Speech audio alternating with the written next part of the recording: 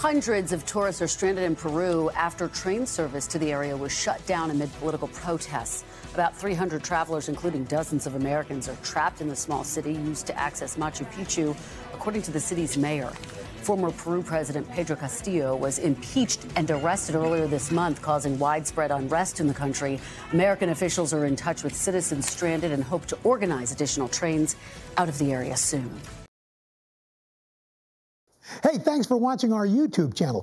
Find your favorite recipes, celebrity interviews, uplifting stories, shop our favorite deals, and so much more with the Today app. Download it now.